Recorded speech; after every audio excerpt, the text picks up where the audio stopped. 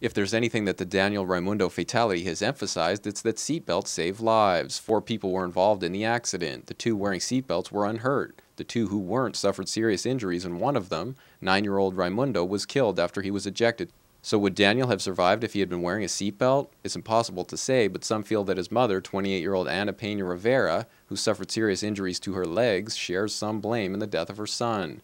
The DA's office appears to disagree, saying last week that Pena Rivera was not charged for violating the state's child passenger safety law.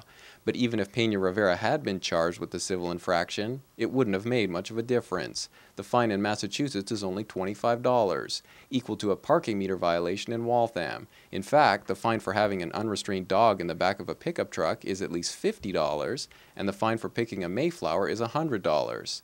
According to the Centers for Disease Control, vehicle crashes are one of the leading causes of death for children aged 3 to 14. Across the nation, Massachusetts ranks among the least punitive in terms of child passenger safety laws, sharing the $25 minimum with states such as Mississippi, Texas, South Dakota, and Iowa.